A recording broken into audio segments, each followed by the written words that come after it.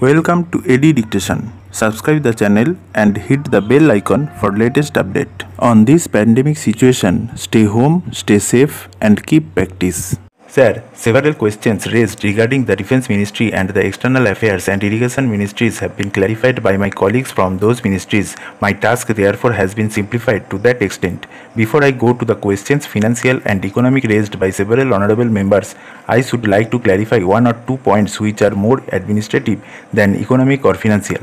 One of them was raised by my honorable friend. He raised the question about the recruitment by the Assistant Superintendent's Departmental Competitive Examination and particularly about the examination held in 1960. He said that about rupees 6 lakhs were spent for the 1960 examination and later it was declared that no vacancies were available. He therefore suggested that a definite procedure should be there and the examination should be held according to the vacancies declared in advance and all persons who have qualified in the examination should be eligible for promotion or for appointment. Para.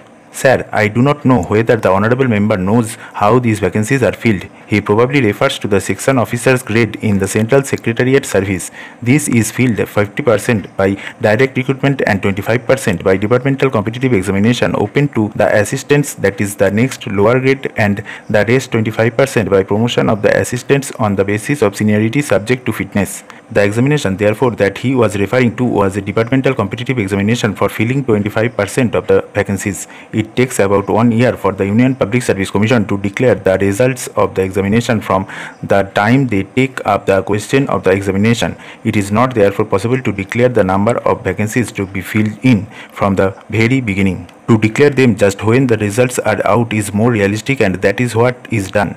If the examination is treated as qualifying examination, the number of persons who will thus become eligible for appointment will be quite unrelated to the number of vacancies to be filled in and then the very situation which the honorable member wishes to avoid would arise. It would not then be possible to hold any of the examinations at regular intervals and promotions against this quota would become very fitful. The honorable member also suggested that the rules for recruitment and promotion etc. should be uniform for all ministries whether participating in the Central Secretariat Service scheme or not. It must be and this is so except for the Ministry of External Affairs and the Railways. These have different rules but these rules are very much similar and there is not much difference. But because these persons are recruited for different purposes and by different agencies they are separate. Therefore his purpose in saving that there should be uniformity is all almost carried out. The only difference is that the Ministry of Home Affairs does not control the services in these two ministries. Para.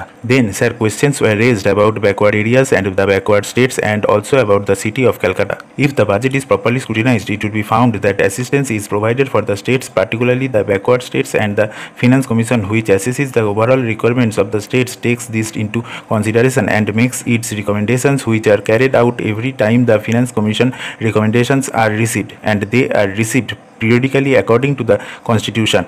Sir, I would like to give the total amount paid to the states on this account. Para. The main objective of planning is to create conditions in which living standards are raised in a sufficiently reasonable level and all citizens are given full and equal opportunity for growth and service. The plans seek to provide a balanced emphasis on increase in production and employment. The development plans are thus accepted as the means for ensuring equitable development in the field of social services.